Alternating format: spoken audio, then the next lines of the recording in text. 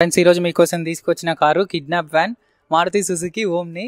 ఈరోజు మన దగ్గర సేల్కి ఉందన్నమాట ఇది two thousand seventeen model only petrol single owner maintain చేసిన vehicle silver colour forty thousand kilometres మాత్రమే తిరిగింది. షోరూమ్ ట్రాక్ కూడా ఉంది. ఒకసారి చూద్దాం ఏమేమి ఫీచర్స్ ఉన్నాయి ఏందనేది. మనం చూస్తున్న colour silver colour original colour repaint అయితే అవ్వలేదు. గ్లాసెస్ అన్ని ఒరిజినల్ గ్లాసెస్ ఏ ఒక్క గ్లాస్ బ్రేక్ అవ్వలేదు చేంజ్ అవ్వలేదు. అలాగే కస్టమర్ చూడండి ఇక్కడ. ఫ్రంట్ క్రోమ్ పార్ట్ అనేది ఇన్స్టాల్ చేయించడం జరిగింది యాక్సెసరీస్ కింద. ఫ్రంట్ బంపర్ కూడా నోటీస్ చేయొచ్చు. ఇది కూడా యాక్సెసరీ కింద ఇన్స్టాల్ చేయించడం జరిగింది. టీఎస్ రిజిస్టర్డ్ వెహికల్ హైదరాబాద్లో తిరిగే బండి సెవెన్ ఫోర్ త్రీ సిక్స్ బండి నెంబరు. ఏ డౌట్ ఉన్నా కానీ ఈ నెంబర్తో మీరు షోరూమ్ ట్రాక్ అనేది తీసుకోవచ్చు. సో దట్ ఏంటంటే బండి యొక్క హిస్టరీ అనేది తెలిసిపోతుంది. ప్రాపర్గా సర్వీస్ చేయించారా? లేదంటే ఏదైనా పార్ట్స్ చేంజ్ చేశారా? Accidental vehicle non accidental vehicle అనేది మీరు తెలుసుకోవచ్చు. డ్రైవర్ సైడ్ ప్రొఫైల్లో కనుక చూస్తే ఓఆర్విఎమ్స్ ఇలా ఉంటాయన్నమాట. డోర్స్ ఇవన్నీ నోటీస్ చేయొచ్చు. ఇలా ఉండిద్ది. క్రోమ్ యాక్సెసరీస్ వేయించారు. అలాగే సైడ్ బీడింగ్ కూడా కస్టమర్ ఇన్స్టాల్ చేయించడం జరిగింది. వీల్స్ చూడండి. వీల్స్ అనేవి ఇలా ఉంటాయి. ఇవి normal steel wheel with wheel కవర్తో ఉంది.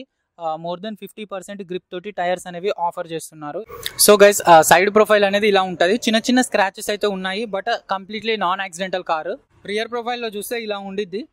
నార్మల్గా ఏముండదు బేసిక్గా ఉంటుంది అనమాట రియర్ బంపర్ గార్డు కూడా ఇన్స్టాల్ చేయించడం జరిగింది. ఓనర్ ఎవరైతే ఉన్నారో అతను. ఒకసారి బూట్ స్పేస్ చూద్దాము. బూట్ స్పేస్ అనేది ఇలా ఉంటుంది. ఇది ఎయిట్ సీటర్ అనమాట కార్గో వెహికల్ కింద కూడా యూజ్ చేస్తుంటారు.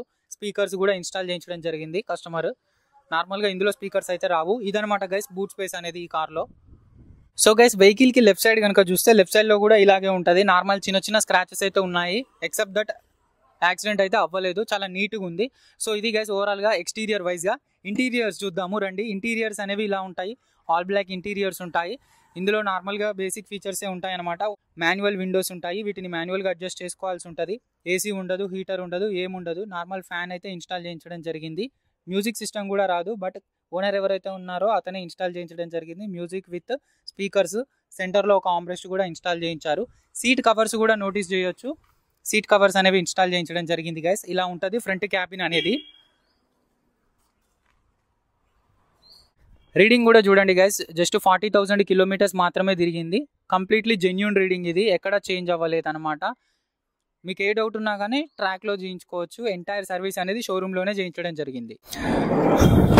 సో ఈ విధంగా రియర్ని యాక్సెస్ చేయాల్సి ఉంటుంది. రియర్లో ఇలా ఉంటాయి. ఆపోజిట్లో సీట్లు అనేవి. వీటికి కూడా సీట్ కవర్ ఉంది. ఇఫ్ ఇన్ కేస్ మీకు అవసరం లేదనుకున్నట్లయితే ఈ సీట్స్ని ఫోల్డ్ చేసి కూడా యూస్ చేసుకోవచ్చు అనమాట కార్గో స్పేస్ లాగా. సో ప్రాపర్ ఎయిట్ సీటర్ అని చెప్పుకోవచ్చు. ఇఫ్ ఇన్ కేస్ ఎవరైనా సరే బిజినెస్ కోసము ఇట్లా సర్వీసెస్ కార్గో సర్వీసెస్ ఇట్లా పార్సల్స్ ఇలాంటివి చేస్తుంటారు కదా వాళ్ళకి పర్ఫెక్ట్ వెహికల్